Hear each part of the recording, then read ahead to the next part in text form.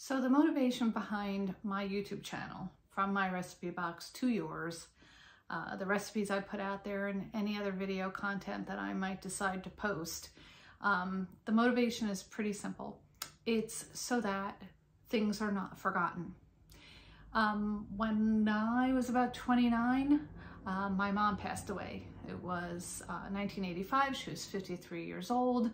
It was very unexpected and I asked her, Mom, would you give me the recipes for some of the things that you're great at making? Her answer to me was a very emphatic no.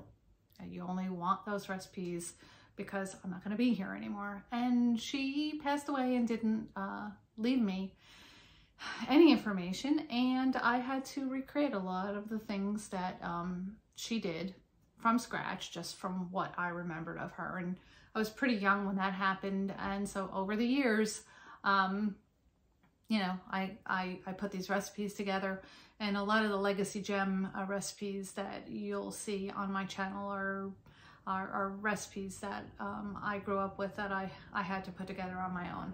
Um, that's the motivation. I want, obviously, to share all of my uh, recipes and knowledge and things that I like and enjoy. I want to share them uh, with everybody. And that's why um, the channel is not private, it's public. And that's just an added benefit of what it is that I'm doing. Um, I hope that everything that I put on my channel is, um, is there to reference you know, as long as YouTube is available um, and is there for my family and friends. And uh, not to be morbid, but when I'm not here anymore, uh, they'll be able to look back and see me doing some of the things that I love to do and hopefully that will make them feel feel really good to be able to go back and and and just spend some time with me.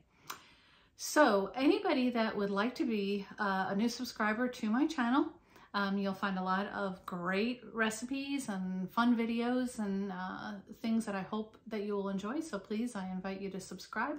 Um, and uh, I am sure that all of my uh, family and friends that I really care about are there in the background uh, rooting me on and, and enjoying uh, the reference that they have to the videos that uh, I put out there in my content.